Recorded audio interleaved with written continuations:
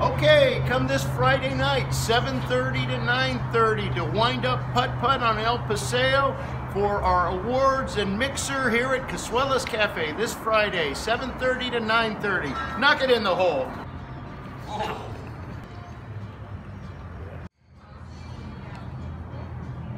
It's in the hole! Woo! that was good. Yeah.